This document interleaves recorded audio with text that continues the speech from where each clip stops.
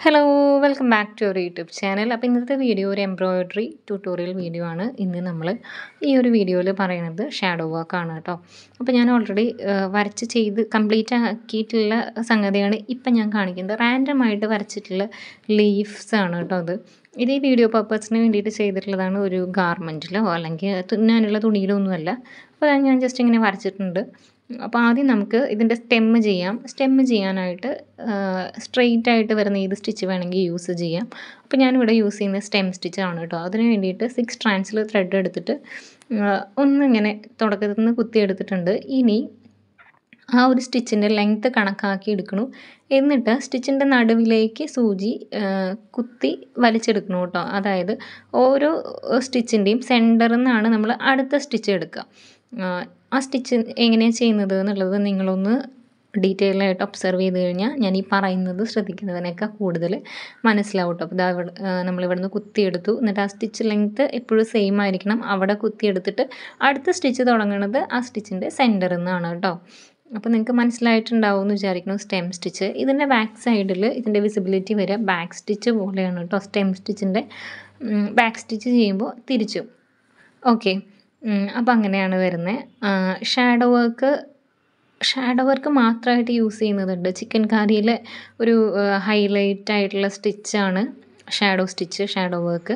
Shadow വർക്കിന് നമ്മൾ normally prefer ചെയ്യുന്ന തുണി എന്ന് പറയുന്നത് വളരെ ട്രാൻസ്പെറന്റ് ആയിട്ടുള്ള തുണിയാണെങ്കിലാണ് ആ ഷാഡോ നന്നായിട്ട് എടുത്ത് കാണുള്ളൂ. ഇതിപ്പോൾ പോപ്ലിൻ ക്ലോത്താണ് എനിക്ക് നേരിട്ട് എന്റെ കയ്യിൽ ഈ ക്ലോത്ത് കാണുമ്പോൾ എനിക്ക് അതിന്റെ ഷാഡോ മനസ്സിലാവുന്നുണ്ട് എന്നാൽ പോലും.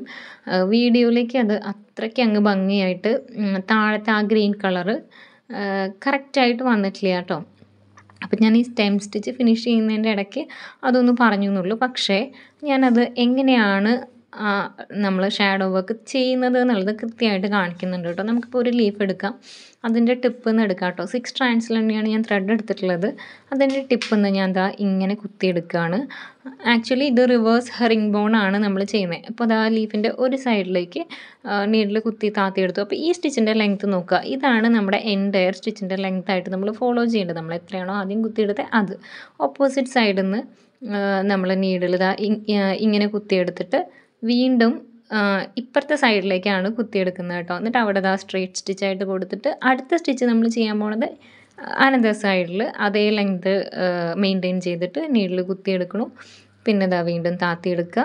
ഓപ്പോസിറ്റ് സൈഡിലോട്ട് വരിക അപ്പോൾ ഇതിന്റെ ബാക്ക് സൈഡ് എന്ന് പറയുന്നത് ഇങ്ങനെ ക്രോസ് ക്രോസ് ആയിട്ട് വരും. അതായത് ഇതിന്റെ ബാക്ക് സൈഡ് ഹെറിംഗ് ബോൺ ആയിട്ടാണ് വരിക അപ്പോൾ ഹെറിംഗ് ബോൺ സ്റ്റിച്ച് ചെയ്യുമ്പോൾ താഴത്തെ ഭാഗം ബാക്ക് സ്റ്റിച്ച് ചെയ്ത പോലെ വരും. മനസ്സിലായി എന്ന് വിചാരിക്കുന്നു കേട്ടോ. അപ്പോൾ ഇത് റിവേഴ്സ് ഹെറിംഗ് ബോൺ ആണ്. ഷാഡോ വർക്ക് ചെയ്യുമ്പോൾ ഇങ്ങനെ ഞാനിപ്പോൾ ഏത് ഭാഗമാണോ നമുക്ക് കാണുന്നത് അതായത് നമ്മൾ വർക്ക് ചെയ്യുന്ന വശം എന്നെ എന്നെ ഫേസ് ചെയ്ത് വരുന്ന പോലെയാണ് ഞാൻ ചെയ്യുന്നത് അപ്പോൾ ഇത് കംഫർട്ടബിൾ അല്ലാത്ത ആൾക്കാർ ഹൂപ്പ് തിരിച്ച് പിടിച്ചിട്ട് അതായത് ഹെറിംഗ് ബോൺ ആണ് കൂടുതൽ ചെയ്യാനായിട്ട് ഈസി അല്ലെങ്കിൽ ഇത് ക്യാച്ച് ചെയ്യാൻ പറ്റുന്നില്ല എന്നുണ്ടെങ്കിൽ ഹൂപ്പ് തിരിച്ച് പിടിച്ചിട്ട് ഹെറിംഗ് ബോൺ ചെയ്യുന്നത് കണ്ടിട്ടുണ്ട് കേട്ടോ. അപ്പോൾ അങ്ങനെയാണെങ്കിലും നമുക്കിതിന്റെ വിസിബിൾ സൈഡിൽ ഇത് വരും. ബാക്ക് സൈഡിൽ ത്രെഡ് ഫില്ല് ചെയ്തിട്ടുള്ള രീതിയിൽ വരും. അത് നിങ്ങളുടെ കൺവീനിയൻസും നിങ്ങളുടെ ഒരു വർക്ക് ഈസിനെസ്സും വെച്ചിട്ട് അത് നിങ്ങൾ എങ്ങനെയാണെന്ന് വെച്ചാൽ ചൂസ് ചെയ്യുക. ഞാൻ എപ്പോഴും പ്രിഫർ ചെയ്യുന്നത് ഇങ്ങനെ ചെയ്യാനാണ്. സോ ദാറ്റ് നമുക്ക് ആ ഒരു സ്റ്റിച്ചിന്റെ ലെങ്ത്ത് മാറുന്നില്ല എന്നുള്ളത് അഷ്വർ ചെയ്യാനായിട്ട് ഇവിടെ പറ്റൂ കേട്ടോ അപ്പോൾ ഈ ലീഫ് ഞാൻ ഏകദേശം കംപ്ലീറ്റ് ചെയ്തിട്ടുണ്ട്. ഇപ്പം നമുക്ക് ഈ സ്റ്റിച്ചിന്റെ ലെങ്ത്ത് ഓരോന്നും ഇങ്ങനെ മാർക്ക് ചെയ്ത് മാർക്ക് ചെയ്ത് പോകാനായിട്ട് പറ്റില്ല. അത് നമ്മുടെ ഒരു മൈൻഡ് കാൽക്കുലേഷനാണ്. നമ്മൾ പ്രാക്ടീസ് ചെയ്ത് പ്രാക്ടീസ് ചെയ്ത് വരുമ്പോൾ സ്റ്റിച്ച് ലെങ്ത്ത് നമുക്ക് ഈക്വലായിട്ട് വരുന്ന രീതിയിൽ ചെയ്യാൻ പറ്റും. പിന്നെ ലാസ്റ്റ് എൻഡ് നോട്ടൊക്കെ വരുമ്പോൾ നമുക്ക് അഡ്ജസ്റ്റ് ചെയ്തിട്ട് അത് ഫിനിഷ് ചെയ്യാനും പറ്റും കേട്ടോ പിന്നെ ഷാഡോ വർക്കിൽ നോട്ട് ചെയ്യേണ്ട അടുത്തൊരു കാര്യം എന്താണെന്ന് വെച്ചാൽ താഴേന്ന്. ഇതിന്റെ ബാക്ക് സൈഡിൽ നിന്ന് ഒരുപാട് നൂൽ ത്രെഡ് വലിക്കാതിരിക്കാൻ ശ്രദ്ധിക്കണം കേട്ടോ കാരണം എന്താണെന്ന് വെച്ചാൽ തുണി വളരെ ട്രാൻസ്പെറന്റ് ആയിട്ടുള്ള തുണിയാണ് നമ്മൾ ഷാഡോ വർക്കിന് യൂസ് ചെയ്യുക. അപ്പോൾ താഴത്തെ കൂടെ ഇങ്ങനെ നൂൽ വലിച്ച് വലിച്ച് പോയി കഴിഞ്ഞാൽ അതും ഒരു അഭംഗിയായിട്ട് വിസിബിൾ ആവും കേട്ടോ ഇതിപ്പോൾ അത്ര ട്രാൻസ്പെറന്റ് ആയിട്ടുള്ള തുണിയല്ല എന്നാലും ട്രാൻസ്പെറൻസി ഉണ്ട് ഇതിന്. അപ്പം ഞാനിത് കംപ്ലീറ്റ് ചെയ്തിട്ടുണ്ട് കേട്ടോ അപ്പോൾ ഇതാണ് ഷാഡോ വർക്ക് ചെയ്യുന്ന ഒരു മെത്തേഡ് നിങ്ങൾ പല പല ഡിസൈൻസ് ട്രൈ ചെയ്ത് നോക്കുക. ഈ വീഡിയോ ഇഷ്ടമായിട്ടുണ്ടെന്നുണ്ടെങ്കിൽ എന്തായാലും നിങ്ങളൊരു ഷാഡോ വർക്ക് ജസ്റ്റ് ഒരു കർച്ചിഫിൽ ഒരു കുഞ്ഞ് കുഞ്ഞ് മോട്ടിഫ് ഏതെങ്കിലും ഒരു അറ്റത്തായിട്ട് ചെയ്ത് നോക്കിയിട്ട് പ്രാക്ടീസ് ചെയ്ത് നോക്കുക കേട്ടോ. നല്ലൊരു പാറ്റേൺ ആണ്. നമുക്ക് നല്ല ഈസിലി ചെയ്യാവുന്നതാണ്. ഇതാണ് ഇതിന്റെ ബാക്ക് സൈഡ് വരിക ബാക്ക് സൈഡ് കംപ്ലീറ്റ്ലി നല്ല നീറ്റായിട്ട് തന്നെ വരും. നമ്മൾ നന്നായിട്ട് ചെയ്യുകയാണെങ്കിൽ. അപ്പോൾ ഇതാണ് ഇന്നത്തെ വീഡിയോ നിങ്ങൾക്ക് ഇഷ്ടമായിട്ടുണ്ടാവും എന്ന് വിചാരിക്കുന്നു. അടുത്ത നല്ലൊരു വീഡിയോ ആയിട്ട് ഇനിയും വരാം കേട്ടോ. താങ്ക്